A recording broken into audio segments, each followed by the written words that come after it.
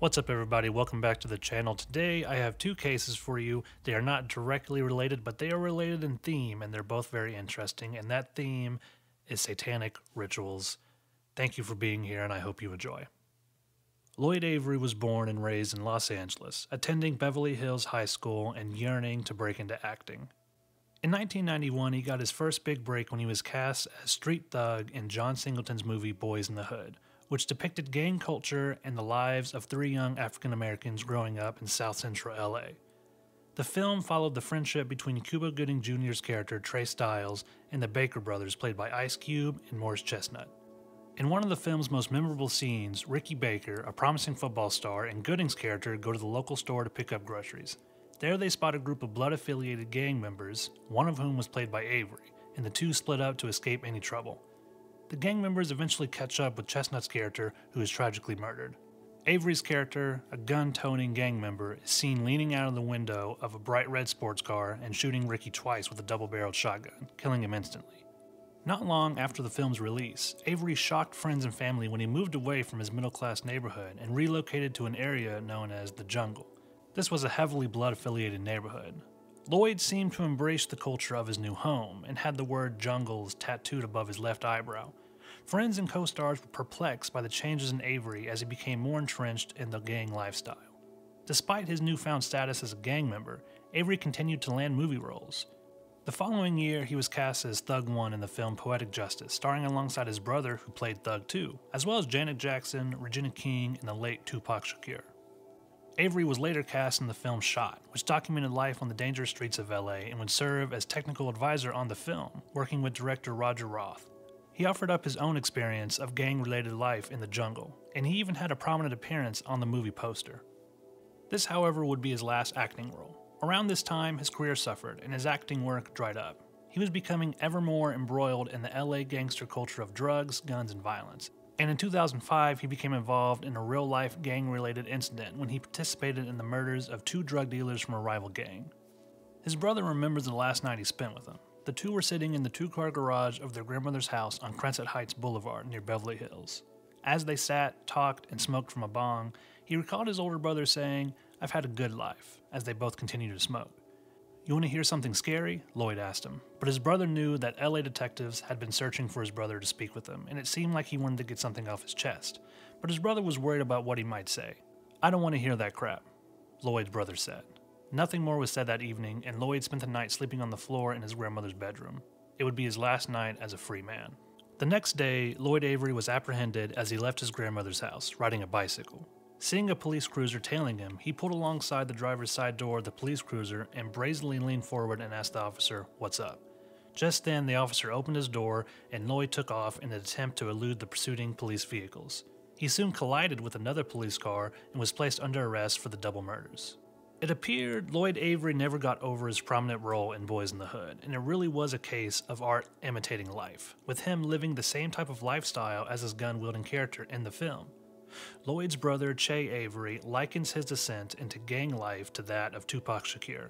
Quote, I'd like to call it the Tupac syndrome, he says. Quote, Lloyd left like he had something to prove when he really didn't. Even if you have money and fame, you will sacrifice all of that just to have respect from a bunch of thugs, end quote. Whilst Avery was awaiting trial, he was incarcerated at the North County Correctional Facility, and it was there that he found God. With the fervor of the newly converted, he spoke often with the prison chaplain about what he was reading in the Bible. He would regularly attend church services on Sundays and was always seen sitting in the front row during Bible study. After two years at the jail, he went to trial and was found guilty for the double homicide and sentenced to life imprisonment. Avery was transferred to Pelican Bay State Prison where he would serve out his sentence. And while he was there, of course, he continued his religious conversion, and he would often attempt to spread God's words to fellow inmates, and it is believed that this is what caused his death. His cellmate Kevin Roby was a paranoid schizophrenic and a Satan worshiper who had been sentenced to life imprisonment for the sexual assault and murder of his sister while trying to appease Satan. Avery had apparently tried to convert Roby to Christianity, albeit unsuccessful, and was warned by him to stop preaching about God. On September 4, 2005, 36 year old Lloyd Avery was hit over the head and strangled to death by his cellmate, who used his body in a ritual of human sacrifice. It would take two days before a COs found his mutilated body in their cell, laying on top of a pentagram Roby had drawn on the floor in Avery's own blood for the ritual. Now, Kevin Roby was already in prison for life, but he received another life sentence. Now, Kevin Roby called himself Satanic Christ, and he was a well known self avowed Satanist. And Lloyd Avery was a high profile inmate and self avowed Christian. Friends and family of Avery blamed the Pelican Bay correction officers of negligence, saying the two should never have been placed together in the same cell. It's some people's opinions that prison guards will often stack cells with incompatible cellies to exact revenge for annoying the guards in some manner. It's not my opinion, it's just what some people believe. I don't really know about it. Either way, some people wonder if this wasn't the case when Lloyd Avery and Kevin Roby were placed together. Kevin told prison staff repeatedly that he didn't do Christian cellies. He said he was a hardcore Satanist and wouldn't abide a cellie who professed Christian beliefs, which Avery was obviously very well known for. Additionally, Avery's body would not be discovered for two days, by which time it had started to decay. Multiple times a day, all inmates are required to do a standing count, meaning that they are required to be standing up and not in their bunks to prove that they are alive. How was Avery not discovered during the multiple standing counts during those two days while his corpse was laying in his cell? These details were what lead friends and family of Lloyd's to question what really happened. Was Avery's placement in with Kevin an act of retribution for something light or some rule violation by one of the men? And if so, which one? After the ritual murder of Avery, Kevin actually sued Pelican Bay Prison for placing Avery in a cell with him after he repeatedly warned them not to do so. His lawsuit was dismissed with prejudice. Lloyd chose to live a violent life and ended up dying a particularly violent death. It's an interesting case, it's one I never actually heard of uh, because I was a huge fan, I still am, of Boyz n the Hood. I remember that scene like very vividly in my mind, and until recently, I never even heard this had happened. Now we have two cases for you today. They're different, but they also revolve around the same sort of topic, and that is satanic rituals. So we're going to talk about the beasts of Satan, and this one is super interesting, so thanks for sticking around. So picture a satanic ritual. There are black candles, there are symbols, possibly drawn in blood, and some kind of sacrifice involved, either animal or human. It's an idea that formed the basis for innumerable horror movies. And then there are times you see it play out in real life. If you look back over the crimes of the last century, some of the worst examples include brutal murders, and some of them have Satan's name attached to them, and that's without having to go back to the Dark Ages. It's an easy explanation for committing unspeakable acts. The devil gets blamed for a lot, right? And in some of the most famous cases of Satan worship, it's not true. Take the McMartin preschool trial in 1983. The trial was representative of the more realistic outrage that took over in the 1980s in America satanic panic. A mother at preschool faced initial charges of abuse after her son had problems with toileting. The charges then somehow escalated to accusations of flushing children down the toilet to secret rooms and reports of flying witches, among other fantastical and impossible claims. The charges were dropped only in 1990 after a trial that had been going on since 1987 and found no evidence of abuse or satanic ritual. It was one of the longest running court cases in America's history, and was based off of something like that. In many cities across the United States, the SPCA, which is the agency charged with the care of adopting pets, refuses to allow cat adoptions as Halloween approaches due to the number of cat mutilations and sacrifices that occur during this time period. And then there are the cases of horrible abuse and murder of humans that really are linked to Satanism. Real quick, before we go further, if you're thinking about commenting and you're saying something like, you know, screw you, not Satanists aren't bad. I know that a lot of people that are Satanists use it as a belief system that don't it doesn't actually have anything to do with worshiping the actual Satan. So there are a lot of ways you can look at it. Please don't judge me. I know there's a lot of belief systems out there. So the Beast of Satan was a heavy metal band and they were also a satanic cult, and there were members of which were tried and convicted of a series of satanic ritual murders between 1998 and 2004. The slayings were called one of the most shocking crimes in post war Italy by the BBC. On the evening of the first full moon in January 1998, a group of teens met secretly in the woods to perform a ritual to please their master, Satan. It was an orgy of drugs, death metal music, sex turned rape, and leading to the official murder of two members of the group as a sacrifice to the Dark Lord. They called themselves the Beast of Satan. It was more than just their band name, it was their way of life. No one was safe from their brutal attention, not even their closest friends or fellow group members. It was an open season on humanity, after which Italy would never be the same. In the town of Somma Lombardo, northwest of Milan, Italy, 19 year old Chiara Marino and her boyfriend Fabio Tollis, a 16 year old heavy metal musician, spent a typical Saturday night drinking beer and rocking out to their favorite heavy metal music at the Midnight Pub, one of their favorite regular haunts. It was the last time the couple would be seen alive. They never returned home.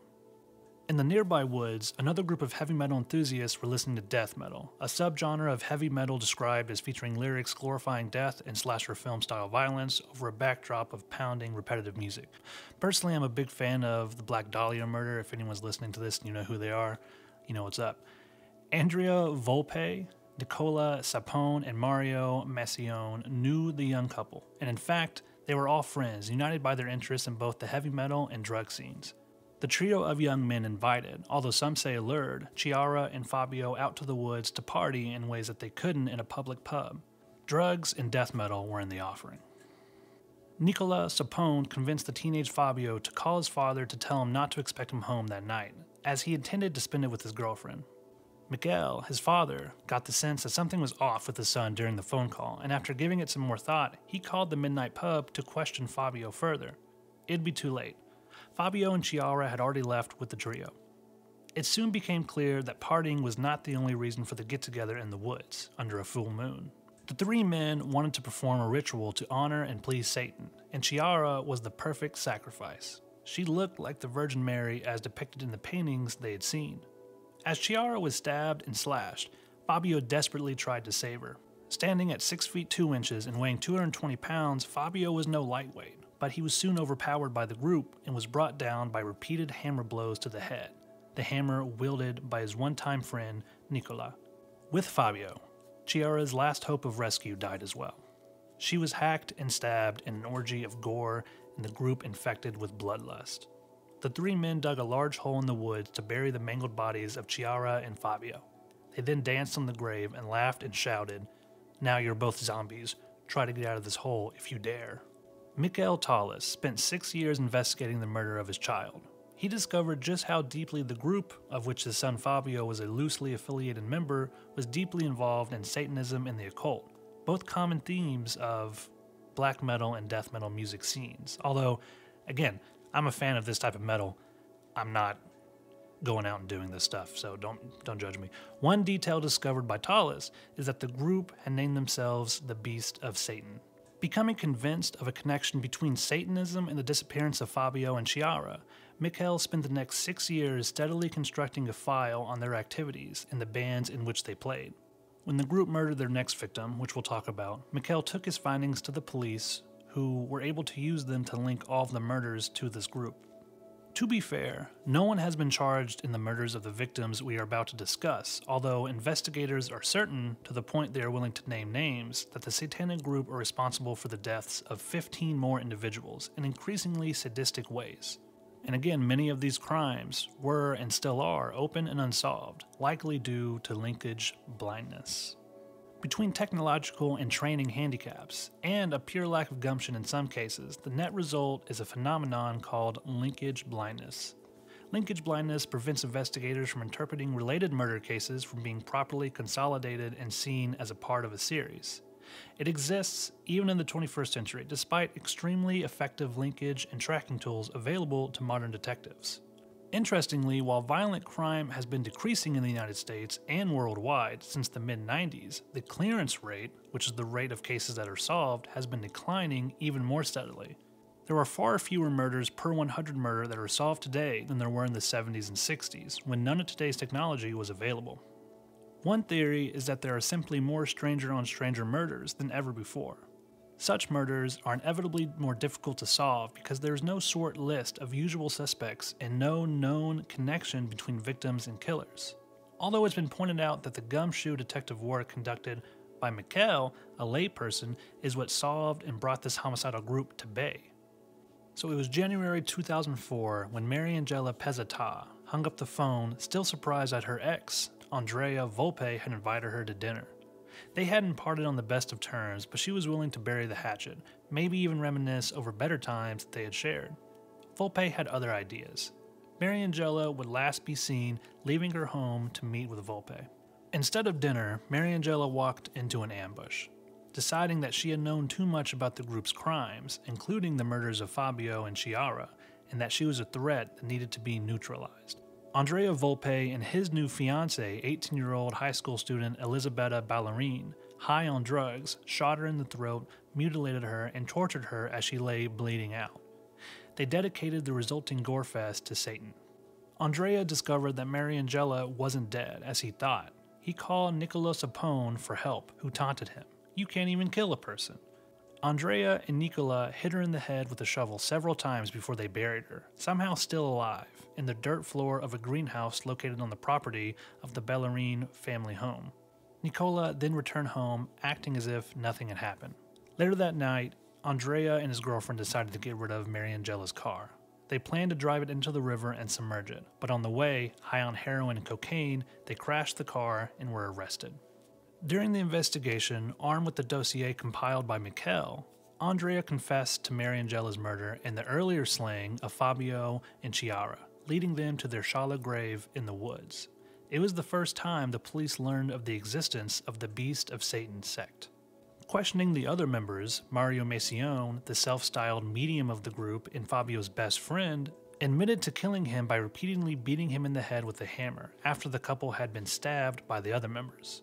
Investigators also learned the insane fact that the other members had pushed the band's drummer to commit suicide because he had refused to join the band in murdering Fabio and Chiara. In September 1998, the drummer, also named Andrea, consumed a large quantity of alcohol and then killed himself by deliberately crashing his car. After a protracted and well attended trial, on February 22, 2005, Andrea Volpe was sentenced to 30 years confinement for his role in the three slayings, which was 10 years more than the prosecutor had actually asked for. And Pietro, another member of the group, received 16 years. Hopefully, I said that name right. Mario Maccione, who had participated in the same crimes, was cleared and received no prison time due to what was described as his secondary role in the case and his cooperation with law enforcement. In early 2006, Nicola Sapone, leader of the group and the suspected mastermind behind the killings, received a life sentence. The other four that were in the group received sentences between 24 and 26 years for their roles in the three murders. In 2007, the Court of Appeal confirmed the life sentence of Nicola Sapone and lengthened the convictions of three other members of the group. In May of 2008, the final court confirmed all of the appeal's decisions. Reactions to the sentences were kind of mixed. Mikkel said he had received justice, whereas Chiara's mother, upon hearing the sentence, would cry, They are murderers. It's not fair. I guess she thought that 24 years in life uh, for the leader was not enough. The crimes of the Beast of Satan group gripped Italy, home to one of the largest sects of Catholics in the world, and to the Vatican and the Pope, obviously. It seemed that Satanism was growing in popularity among Italy's disaffected youth. In response, a Roman Catholic university connected to the Vatican began offering a course on diabolical possession and exorcism for priests and seminarians. There was also a concerted effort to ban death metal, because as one priest explained, quote, if music makes itself an instrument of nefarious deeds and death, it should be stopped. End quote. Based on what was learned during the trials of the Beast members, police announced their intention to create a new special unit focusing on satanic groups active in Italy and would include a psychologist and a priest who specialized in the occult. During the wide range investigation into the Beast of Satan murders, both those known and suspected, it was discovered that an estimated 5,000 Italians were practicing Satanists. The large majority were teens and young adults in their 20s. And this is the same age a lot of people, if they're going to, begin their criminal careers. So it might be more of a coincidence. So thanks for checking out this episode. Next week, we are talking about something kind of crazy and involves aliens and pilots and all sorts of cool stuff. If you've gotten this far, I appreciate it. Like the video if you want. If you don't want to, that's cool too. Send us an email if you have anything you want to say, and we will see you next week. Again, death metal rules. Love you all. Bye.